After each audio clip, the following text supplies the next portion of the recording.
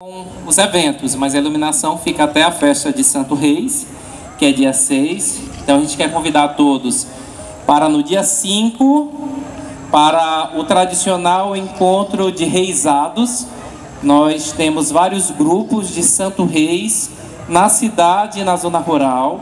E todos os anos, sempre na véspera do dia de Santo Reis, a gente faz esse encontro, que é na Praça da Matriz, às 8 horas da manhã. Então são vários grupos, cada um com um jeito diferente de fazer é, a sua festa de reis, né? Então é muito legal. Então vocês estão convidados para participar dia 5. E no dia 6 nós vamos instituir aqui em Caxias, senhor bispo, essa é boa. Nós vamos instituir aqui a queimação da palhinha, né? Tem muito em outras cidades, em Caxias não tem. A queimação da palhinha, gente, é, é, o, é, é no dia que desmonta o presépio. Como esse ano a gente confeccionou um presépio municipal, o tamanho natural que está lá no Mirante, eu acredito que todos já devem ter passado por lá.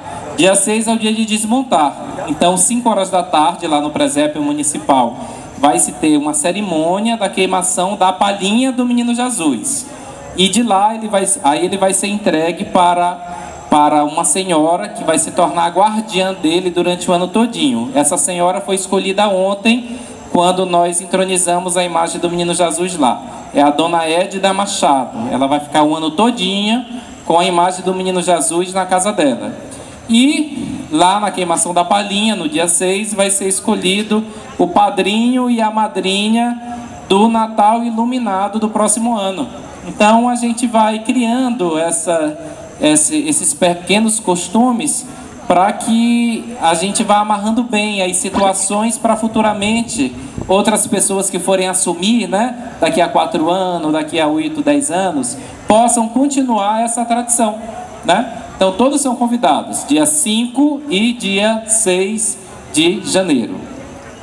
E dizer para vocês que não vamos ter o Réveillon, mas nós vamos ter os fogos de artifício na ponta do mirante. Né? Quem mora aqui no centro pode, pode registrar no dia 31, meia-noite. Lembrando que o Natal Iluminado tornou-se patrimônio imaterial do município de Caxias